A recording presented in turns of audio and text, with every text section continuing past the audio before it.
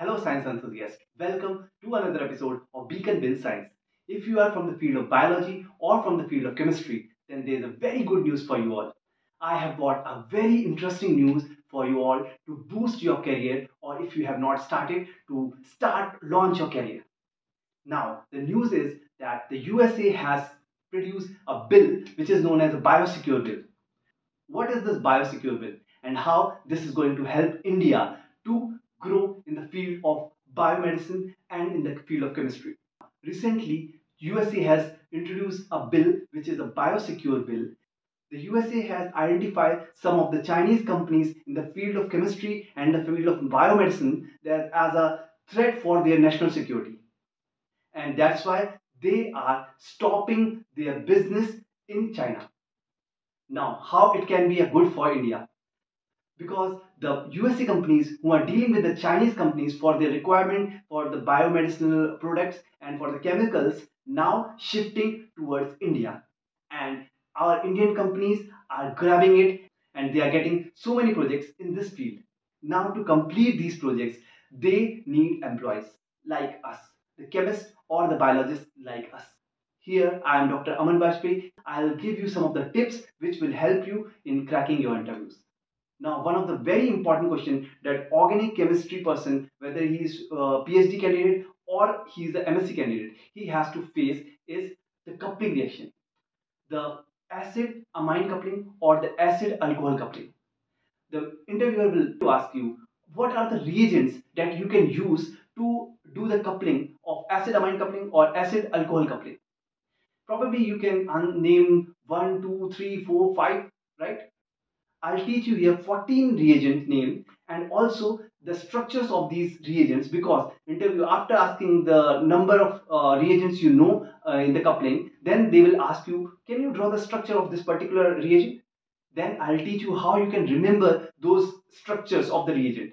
After that the important question is like what is the mechanism? How this works? Like how you these reagents helps to connect the acid amine coupling or the acid alcohol uh, coupling that also I'll teach you.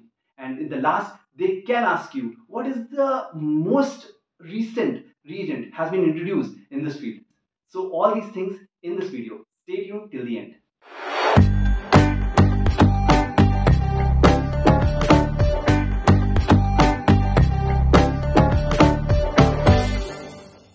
Let's start with the name of the reagents.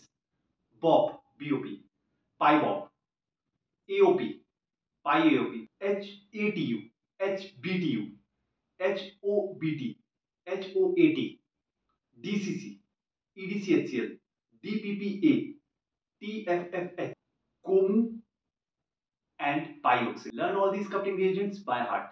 After learning the names of these reagents, now it's time to know the mechanism of these coupling reagents. All the coupling reagents follows the same sequence. These coupling reagents acts as the activator for the COH group.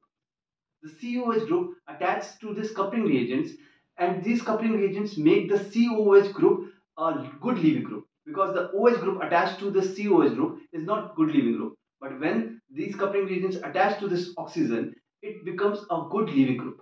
Now, once it becomes a good leaving group, the amine or the alcohol act as a nucleophile, attacks to this carbonyl carbon, and then once they attack it, they remove this oxygen along with the coupling reagents and that's how the amide bond or the ester bond form. Although all the coupling reagents shows a similar kind of mechanism but the electrophilic group in the coupling reagent is different. Some cases it is phosphorus atom, in some cases it is carbon. So you have to remember which reagent you are using and what is the electrophilic center to that particular reagent. Two new reagents which are recently added to the coupling reagent series is COMU and PIOXIL. These two new reagents are highly advanced. Both can be operated in a normal condition and their side product is non-allergic. Now the question is how you are going to remember the structures of these reagents. So you can see there's a pattern in most of these reagents. The pattern is a triazole ring. Triazole ring is basically a five-member ring in which a three nitrogen atom attach adjacent to each other. This ring is common to BOP, PyBOP, AOP, PyAOP, HOBT, HATU, uh, uh, HBTU uh, and HOAT, all these uh, reagents are having this ring common. And followed by this ring, there's a nitrogen and oxygen bond attachment and followed by the oxygen and phosphorus bond or the oxygen and carbon bond. This is a common structure for these reagents. Once you remember this uh, common structure, you can remember all the reagents in structure. This is very simple. Just pay focus on the pattern of these reagents. Thank you for watching this video till the end.